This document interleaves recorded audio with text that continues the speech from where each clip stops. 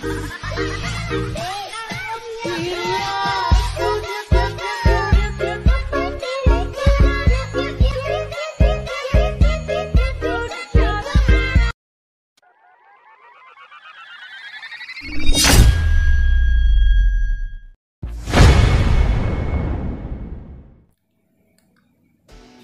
Oke teman-teman langsung saja di sini untuk cara mengedit videonya. Pertama kalian buka aplikasi CapCut kalian, kemudian buat proyek baru. Lalu di sini kalian masukkan aja mentahan video awalnya. Nah untuk link downloadnya bisa kalian cek di deskripsi video ini sudah saya sediakan. Nah jika mentahan video awal sudah kalian masukkan, kalian klik aja tambahkan audio, kemudian pilih suara, lalu pilih dari perangkat, kemudian kalian masukkan backsoundnya. Nah untuk link backsoundnya bisa kalian cek di deskripsi video ini sudah saya sediakan. Tinggal kalian download aja. Nah jika backsound sudah kalian masukkan kalian klik aja. Lalu pilih gabung potongan. Nah di sini tinggal kalian buat aja tanda ya di setiap bit musiknya. Kalian klik tambahkan irama untuk membuat tandanya. Di sini kalian play aja musiknya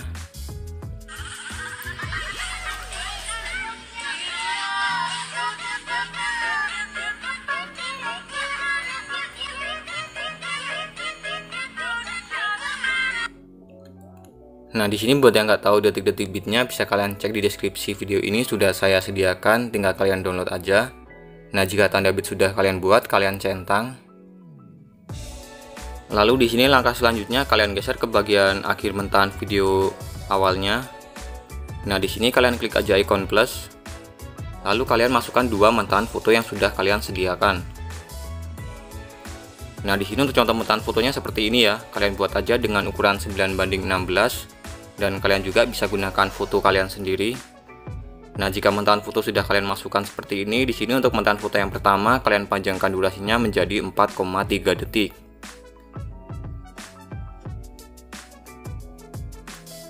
Nah, seperti ini 4,3 detik. Kemudian untuk bagian mentahan foto yang kedua kalian panjangkan durasinya menjadi 4,5 detik.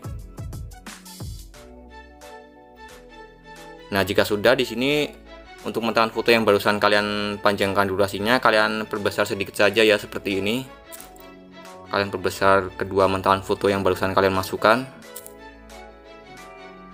Nah, seperti ini kalian zoom ya atau perbesar sedikit saja.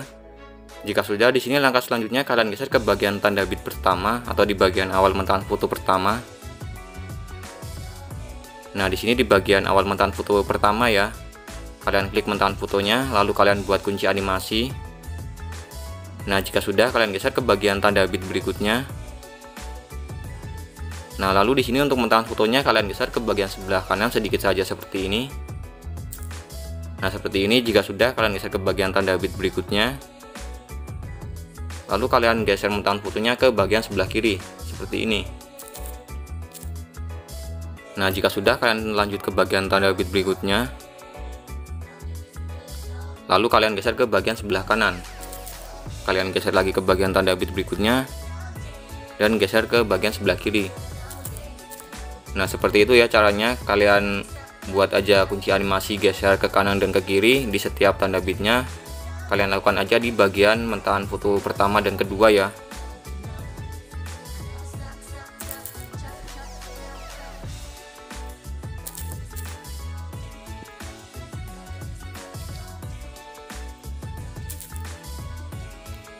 Nah oke jika kunci animasi ke kanan dan ke kiri sudah kalian buat di setiap tanda bit seperti ini pada mentahan foto yang sudah kalian masukkan.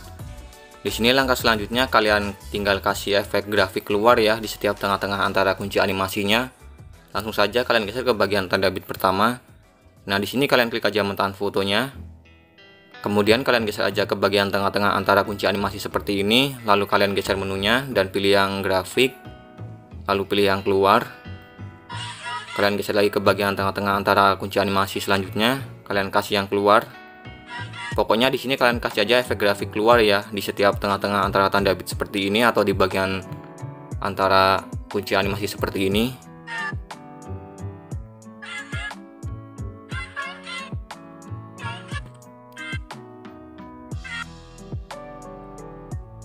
Nah oke jika efek grafik keluar sudah kalian tambahkan di semua tengah-tengah antara kunci animasinya otomatis untuk hasil sementaranya akan seperti ini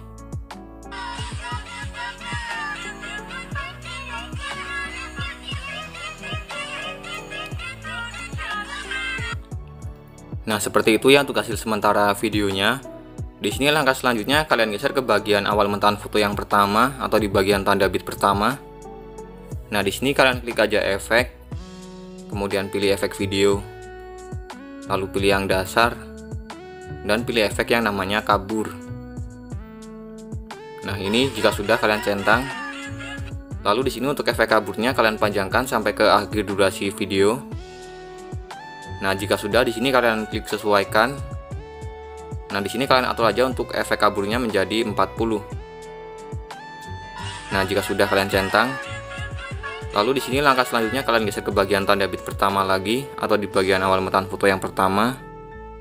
Nah, di sini kalian klik aja overlay. Kemudian pilih tambahkan overlay. Lalu kalian masukkan metan video overlaynya. Nah, untuk link downloadnya bisa kalian cek di deskripsi video ini sudah saya sediakan. Nah, jika mentahan video overlay sudah kalian masukkan, di sini kalian klik aja bagian gabungkan. Kemudian pilih yang bagian percerah. Nah, jika sudah kalian centang, lalu di sini untuk ukurannya kalian paskan ke bagian layar. Nah, jika sudah tinggal kalian atur aja durasinya atau pendekkan durasinya. Kalian paskan sampai ke bagian tanda bit berikutnya. Nah, seperti ini. Jika sudah tinggal kalian salin. Lalu kalian atur lagi durasinya. Kalian paskan ke bagian tanda bit berikutnya. Kalian salin lagi. Lalu paskan lagi. Salin lagi. Dan paskan lagi durasinya.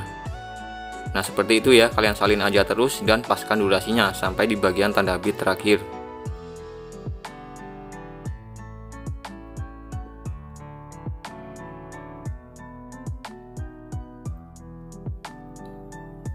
Nah oke jika video overlay sudah kalian salin dan paskan durasinya sampai di bagian tanda bit terakhir di sini langkah selanjutnya kalian geser ke bagian tanda bit pertama lagi atau di bagian awal mentahan foto pertama. Nah di sini kalian klik aja tambahkan overlay. Lalu kalian masukkan mentahan foto yang pertama ya. Kalian masukkan aja mentahan foto yang pertama. Nah jika sudah dimasukkan seperti ini kalian panjangkan durasinya. Kalian samakan dengan durasi mentahan foto pertama ya.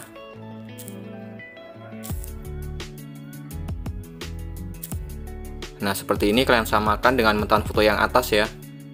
Nah jika sudah kalian atur aja ukurannya atau kalian perkecil. Nah kurang lebih segini. Jika sudah kalian geser ke bagian awal mentahan foto yang kedua. Nah di sini kalian klik lagi tambahkan overlay. Lalu kalian masukkan mentahan foto yang kedua Nah jika sudah untuk durasinya kalian samakan dengan mentahan foto yang utama ya atau atas. Nah jika sudah untuk ukurannya kalian kecil juga. Nah seperti ini. Jika sudah di sini langkah selanjutnya kalian geser ke bagian overlay mentahan foto yang pertama ya. Nah di bagian awalnya kalian buat aja kunci animasi. Lalu kalian geser ke bagian tanda bit berikutnya. Nah di sini untuk mentahan fotonya kalian geser sedikit ke bagian sebelah kiri ya seperti ini Nah, jika sudah, kalian geser ke bagian tanda bit berikutnya. Lalu kalian geser ke bagian sebelah kanan. Kalian geser lagi ke bagian tanda bit berikutnya. Dan geser lagi ke bagian sebelah kiri. Nah, seperti itu ya. Kalian lakukan secara bergantian ya, ke kiri dan ke kanan. Karena yang pertama itu yang di mentahan foto yang pertama tadi itu kan ke kanan dan ke kiri ya. Yang di overlay ini kalian buat aja ke kiri dan ke kanan kalian kalian lakukan aja sampai di bagian tanda bit terakhir.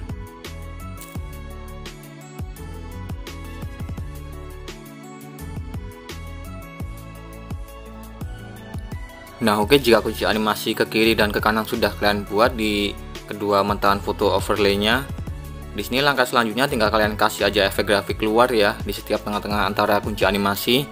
Kalian geser ke bagian tengah-tengah kunci animasi yang pertama di bagian sini kalian geser menunya lalu pilih yang grafik dan pilih yang keluar. Kalian kasih aja ya efek grafik keluar di setiap tengah-tengah tanda bitnya atau kunci animasinya. Kalian kasih aja sampai di bagian tengah-tengah kunci animasi yang terakhir.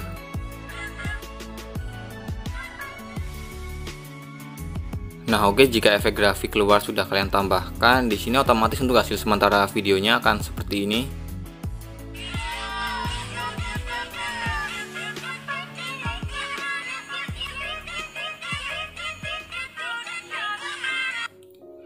Nah, di sini langkah selanjutnya tinggal kalian kasih sedikit efek ya.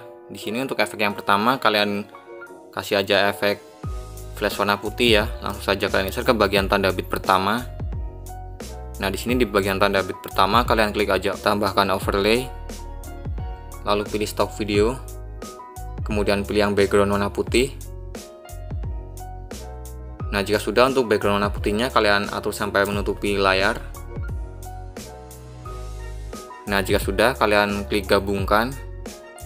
Kemudian pilih yang overlay. Nah, jika sudah kalian centang.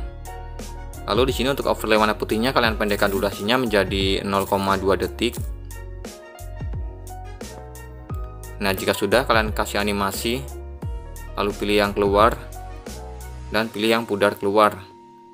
Nah, jika sudah kalian centang, lalu di sini untuk overlay warna putihnya tinggal kalian salin aja ya.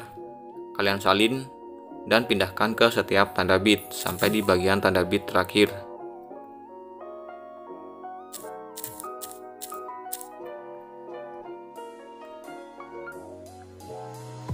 Nah, jika overlay warna putih sudah kalian tambahkan ke semua tanda bit seperti ini, di sini langkah selanjutnya kalian insert ke bagian tanda bit pertama atau di bagian awal mentahan foto yang pertama ya.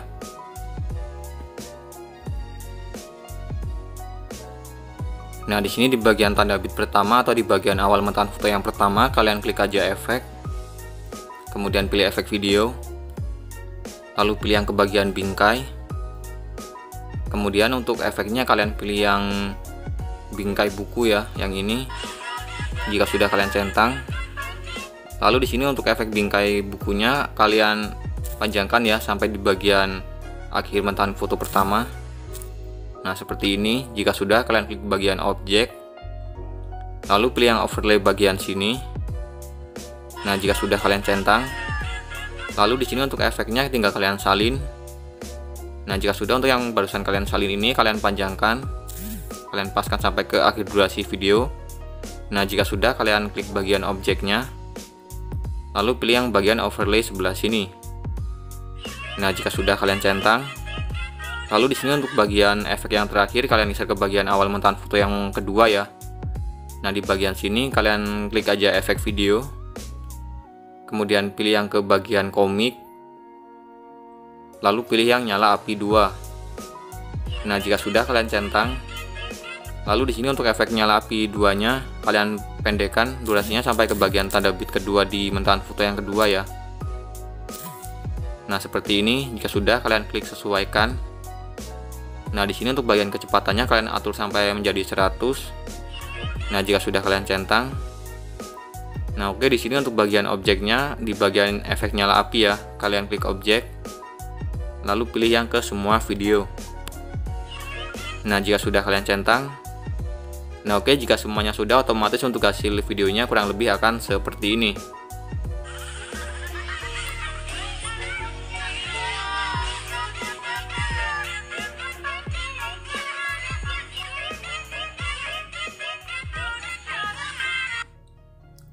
Nah, kurang lebih seperti itu ya untuk hasil videonya. Di sini langkah selanjutnya tinggal kalian simpan aja videonya.